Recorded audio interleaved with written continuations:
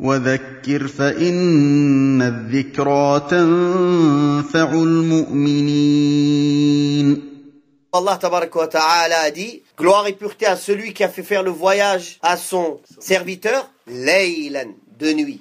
Donc le voyage du prophète sallallahu alayhi wa sallam pour faire l'ascension, c'était quand La nuit. Le Coran, il a été descendu et révélé la nuit. Non.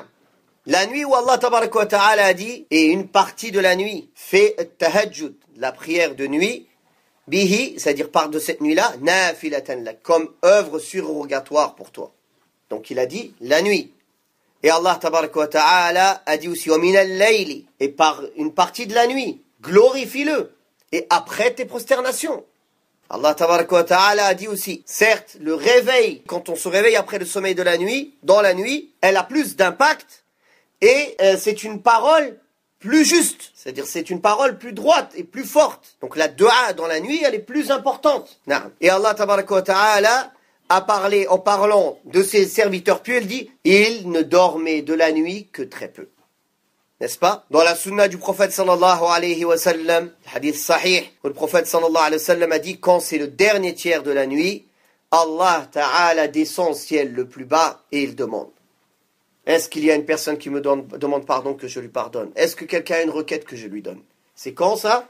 C'est aussi la nuit. Tout cela prouve que la nuit, elle a plus de valeur que le jour. Car la nuit, c'est un moment où on est coupé de nos affaires, coupé des créatures, coupé des gens, coupé des soucis, et on est dans l'obscurité, c'est plus proche de la crainte et de l'humilité et du moment de se rabaisser, de s'avilir et de s'humilier devant Allah subhanahu wa ta'ala et de l'implorer.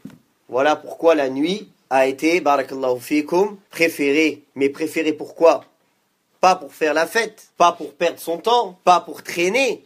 Préférée pour être seul, pour profiter de la nuit, car c'est le moment où on est seul. Les gens pieux, quand venait la nuit, ils respiraient, ils étaient contents, ils disaient Alhamdulillah, je peux être seul entre moi et mon Seigneur toute la journée avec les gens, ils te font mal à la tête. Chacun avec ses requêtes, chacun avec les droits. Tu as des droits à donner à ta femme, à tes enfants, au travail, les voisins, les amis, les problèmes, les soucis.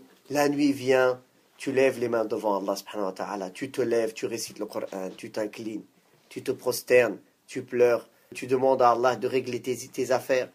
Alors que c'est le moment, justement, ce dernier tiers où Allah ta'ala dit Est-ce qu'il y a quelqu'un qui me demande pardon que je lui pardonne? Y a-t-il quelqu'un qui a une requête que je lui donne pendant ce moment-là, où on dort, on ronfle, ou bien on est occupé à d'autres choses? Il y a des gens qui sont devant des jeux vidéo toute la nuit. Et d'autres qui passent la nuit dans le haram, dans l'illicite, dans des endroits illicites, dans des actes illicites.